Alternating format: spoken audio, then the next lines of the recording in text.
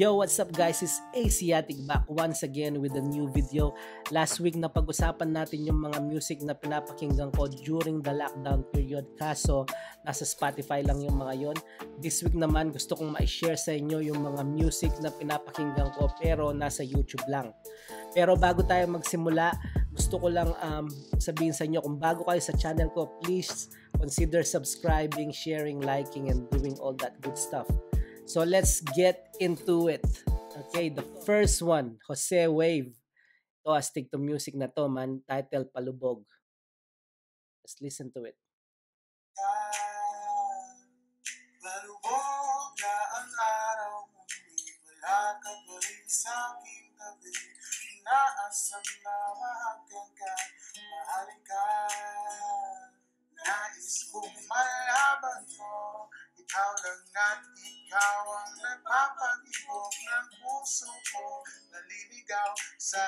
ng ulan Ay sasamahan mo ba ako?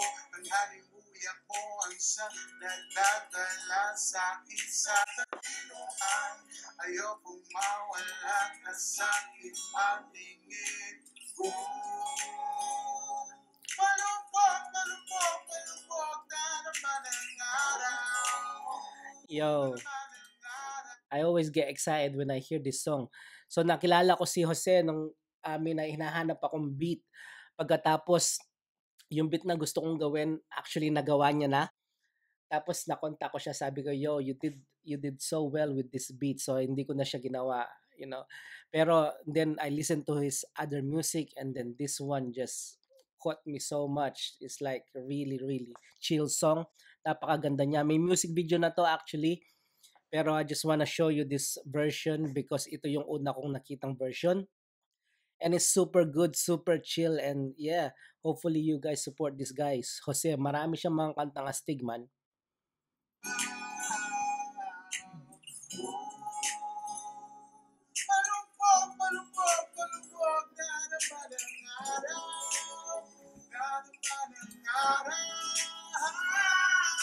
Sa dulo ng natitirang pagtapak ng paang Nagmistulang gabay ko para mayatap ka sinta Ang hiling ko ay maging sa aking pagkikita Hey, hey, hey, this this song man is underrated. It's too much. It's only 6,000 views and it came out last year already. Man, support this guy. Next, actually naging kaibigan ko si Jose and now we talk mostly every day. Tapos, nirecommend niya yung music na to. Sabi niya, shit kuya, astig to man. And then I got hooked with this song. Si Gerald Malyari. 2 a.m.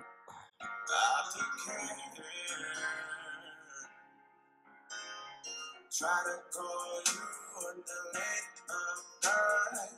Want to smoke on my rooftop. When you're feeling low and you need stop. I'll be there. Just call on my phone if you ever feel alone. I'll be just say I'll be waiting. Let's burn something in come on, come on. Yeah. Hey, hey, hey, hey. Mm.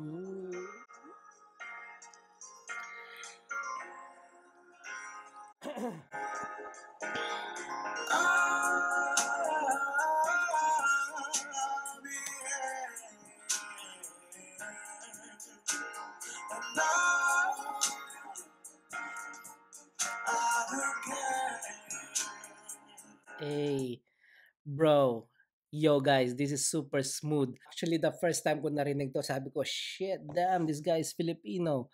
Like, astig siya, kinonta ko siya. Sabi ko, shit, damn, I wanna collab with you, man. And then, gumagawa siya ng beat, mga lyrics niya, siya yung nagsusulat. Actually, marami pa siyang mga sikat na kanta because like, na-discover siya sa lokal or nagbasa siya sa lokal tapos pumatok yung mga yon.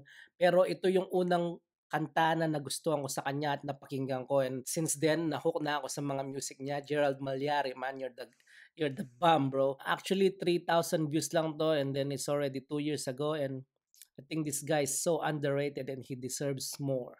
Next. Hey my man. Sino Beats Kahit na mabagal ang takbo Basta ba umaabang eh Huwag kang maniwala sa iba na di ko kayang labutin. Tuloy lang ang hakbang hanggang sa ikaw ay kanilang tingain Huwag kang mawalan ng pag-asa Darating din sa iwang Chansa. kahit na walang naniniwala sa iyong maging basta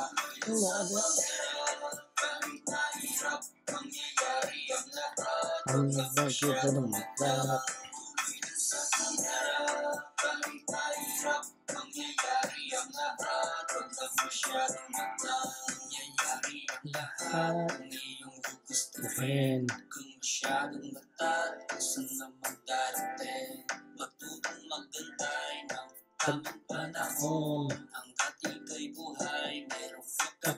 Kakataon. Yo, this this song is super chill. I don't know where I put my camera. But this one is super chill. Sino taga-aklan siya, barkada siya ng barkada ko, naging barkada ko na rin. Gumagawa siya ng mga beats, nagpapa-challenge din siya sa YouTube. Actually, meron siyang 16 bar challenge. Um, di ko alam kung tapos na yon pero the beat is still in YouTube kung gusto nyong you know, gawin, hop on that one. And this guy is just so super bait siya man. Tinutulungan niya akong gumawa ng mga um, lyric videos, tumutulong din siya sa akin sa paggawa ng mga intros and everything sa beat. Um, actually, uh, may sinusulatan akong beat niya ngayon na kasusulat ko lang kanina and excited ako dun sa um, song na yon and hopefully magawa ko na siya soon at ma-record ko na siya and um, yeah hope um, I can do justice um, with the beat kasi astig yung beat. Pero yeah sino taga-aklan siya. Meron din siyang Spotify page supportahan niyo yon um, and if you looking for beats gusto niyo bumili ng mga beats just contact this guy man. Super bait niyan man. Hindi kayo bibiguin yan. Yo next next next. What's next? Yo Filipino boy Kent Manila May paraan para mailagay. Mangarap ng matiwasay Doon ka sa kung sa kasanay Huwag na huwag kang titigil sa paghihintay. Call me tight chill Ore no onga kunita yeah. Toppa suru yatsu wa ore de nara kore wa gachi de nai yeah. Niwa mo dekinai Daimasu te gettinai Tonari no bichi de Hey, joke na, hey, Tagalogin naman natin, Para maintindihan Para malumit hey, Wala lang lang at tapos sindihan at no Malaman mo kung ano ba talaga mga pakay ko Kung mahirap man sabihin linawin ko. Basta sa laban na pinasok wala nang hihinto. Kahit anong mangyari hey, change beat. Nakatali Siksikan kita di makasabay. Tagal na nagitay para lang makabiyahe. Ako ay ganun pa rin Baka sakali lang. Sali lang. Dumating Basta wala lang. Wala, ay Pinoy kahit saan makarating. Ako ay Pinoy Just let me do my thing. Ako ay Pinoy kahit saan makarating Ako ay Pinoy Let me do my thing Kent Manila man, astig to man. Actually, pinapakinggan ko na to, hindi pa lockdown. Um, astig to, na-discover ko lang to random man, like, and then suddenly hooked. Cause, you know, sa UK, mahilig kami sa, well, ako mahilig ako sa grime, trap, drill, all those kind of stuff. And then, nakita ko yung Kent Manila man, like, sabi ko, shit, astig to man. He can speak like Japanese, like, he's doing Japanese, Filipino, English, in one track, you know what I mean? Uh, Like, madalang lang yung mga talented na mga Pinoy na nakikita mong speaking like three languages in one track. Like, astig at saka, para sa akin si Kent, he got the package, you know? He's like, he carries himself as a true pro artist with his costume, the way he like moves and everything. Like, ako pag naggumagawa ako ng mga music videos, like, I'm so awkward, like, proper awkward. Hindi ako marunong umarte. Hindi ko alam ang gagawin ko. It's like, hindi ako natural. Like, medyo, medyo nahihiya ako sa camera. Kaya, ginagawa ko rin yung mga music video, ah, gina- sorry, ginagawa ko rin yung mga um, vlogs na to just so to improve my speech. So, matuto akong humarap sa camera. And yeah, he's so good, man. And respect to him. Hopefully, makakollab ko siya, man. Pinasahan ko na siya. And, bro, man, do that shit, bro. Yeah, Kent, man, idol. Stig. Next. This guy. This guy, super underrated, man. Super galing niya, man. Let's listen to this one. Good son, hella Earphone. Parang mic ang ginagawa ko. Sa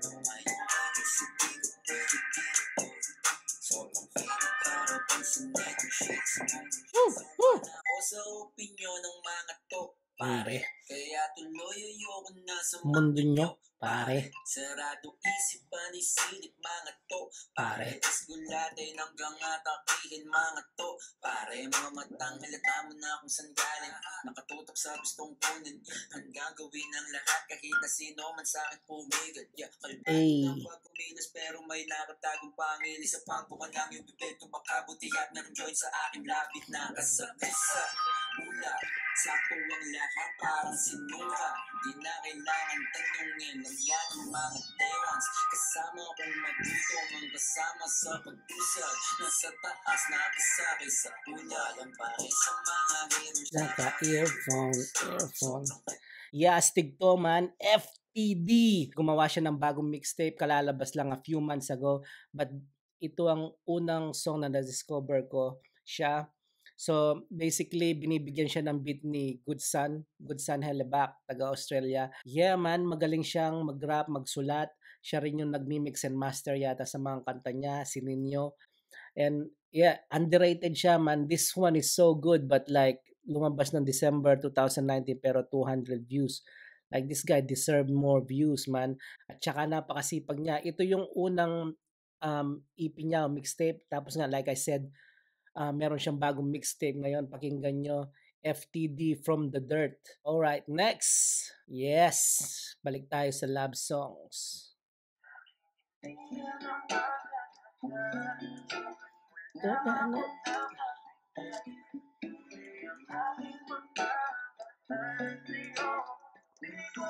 Nagkakape ako man.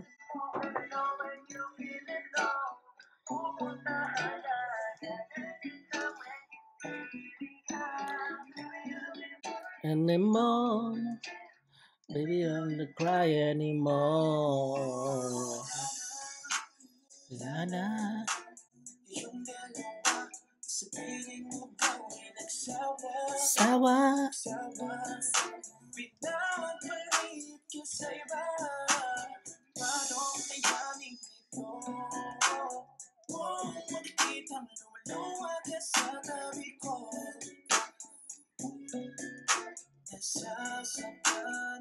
Oh. Ang sa Stig. Pinili ko noon na lumayo Nalaman ko kasi naging kayo Pero ngayon Yokong magbalat kayo Dahil sa'kin hindi Pakinggan. Mahal sa'yo. Di ko sasayangin ang tulad mo Never know when you didn't know. Hey, I can like just go on and go on with that track, you know. Laging on repeat yung track na yan para sa akin, man. So si Sarman and Glenn or Glenn and Sarman, magkapatid sila. Meron silang label na Sodukse Music. Marami silang mga tropa, ga- halos taga Cavite. Nakilala ko una si Sarman um, sa Apoca Clickers Hip Hop Movement. So basically yung movement na yon mag-share ka ng mga music mo or um, links, YouTube links mo. Tapos you do sub for sub. Um, tapos pinakinggan ko lang yung music niya man kasi normally hindi naman ako basta-basta nagsasubscribe lang na hindi ko pinapakinggan yung content or you know, I need to check the content of what's on that channel. Tapos nung napakinggan ko, man, this is the first song na napakinggan ko. Then, diniem ko agad si Sarman uli. Sabi ko, shit, kayo to, man. Super astig, man. Tapos marami pang magagandang music sa channel nila. Please guys, kung gusto niyo yung mga music um, na ini-introduce ko sa inyo, inire-recommend ako, please sub on their channel. Like, sub na rin guys sa channel ko. Because, you know, makakatulong ng malaki sa mga artist ng mga katulad namin na hindi pa masyadong kilala. And, you know, we all need your support, guys. Meron din kaming collab na darating. Kaso lang nga, naudlot dahil nga sa lockdown. Hopefully, pagkatapos ng lockdown, makalabas na sila, makapag-record. And then I do my own um, part on the song. And then we can release it and share it with you guys. So, next Astig yung mga music na to, man. I love discovering like underground artists. Sick. Respect. Beats!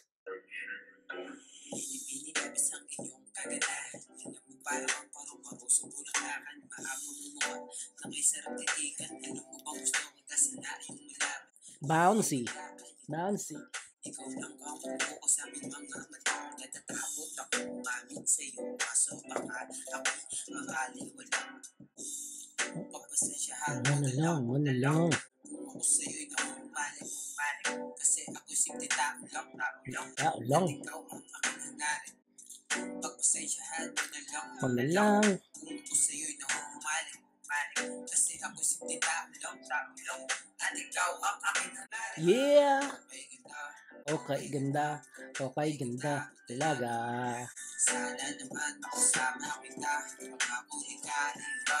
Ay!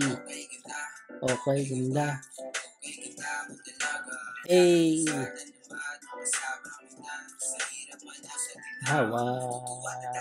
So respect beats, obviously gumagawa siya ng mga beats. Doon siya mostly kilala. But this is the first song na sinulat niya and nirap niya and minaster niya and everything. And sabi ko, damn, this song is sick, very bouncy, very uplifting, um, uplifting first try. Like, astig na agad, you know, maraming mga music um, artists o yung nagsisimula pa lang, nahihirapan sila sa pag-produce o pag um, ng kanta, lalo na pag bago ka pa lang, super hirap man. Kahit ako matagal na ang gumagawa ng music, nahihirapan pa rin ako. And then, you know, for his first song already is quite good. You know, kaya respect. Lumabas yun January 2020, um, 500 views and I think he deserved more views. Next, Philosia. Philosia. Philosia. Philosia. Philosia means self-love. Um, self-love. Self-love. You know, talagang lumalabas yung accent ko man. I think sa lahat ng mga music video or um, songs na nirecommend ako sa inyo ngayon, this is the one who has more views.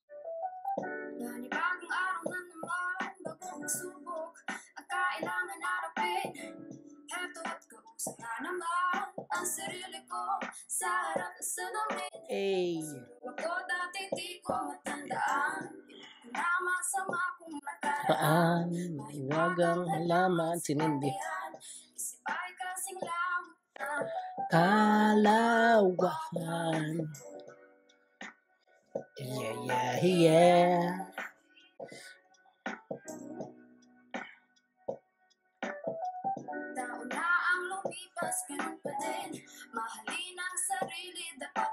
Mahalin na sarili, you know what I mean? That's why it's Philosia. Philosia. I don't know how to dis- like pronounce that. Phil- Philosia, Philosia. Yeah, self-love, mahalin ang sarili. Like, astig to man, self-care. Sabi nga ni ano, Mac Miller. Super, super astig, super chill, super like, you know, chunky vibes, man. Yeah, calm. Sana supportahan nyo yung mga gantong mga music. I know like makikita mo to obviously million views but super astig niya man. Hopefully she can come up with another song that will kind of like solidify her more. Next is Kigo Sawa. I don't know why this is only has 8 views. I swear. Marami dapat dito. Galing ba? Galing bumulsa. Galing bumulsa. Feeling marunong galing bumulsa. Gawa ng iba, ikaw Galing bumusga.